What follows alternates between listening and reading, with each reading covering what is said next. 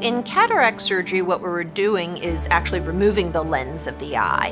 Um, and it's typically a 4 to 15 minute procedure, painless, done with topical anesthesia, a little IV anesthesia. Patient is lying down on their back, um, and it's uh, quick and, like I said, not painful. We make a very small incision, use an ultrasound probe to break up the cataract into fine dust particles, vacuum it out, and then insert a lens implant. So there's a thin membrane that's left in place, um, and the lens implant rests against that membrane. In fact, there's a little envelope that seals around the lens implant.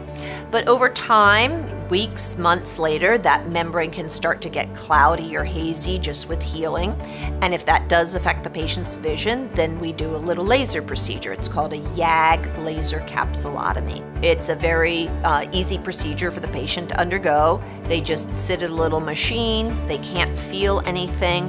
It takes 30 seconds to do. We just open up that cloudy membrane um, and that takes care of it. Needing a YAG laser capsulotomy for the condition posterior capsule opacification is not a complication of uh, the cataract surgery. It doesn't mean something went wrong. It in fact occurs in about 60% of patients.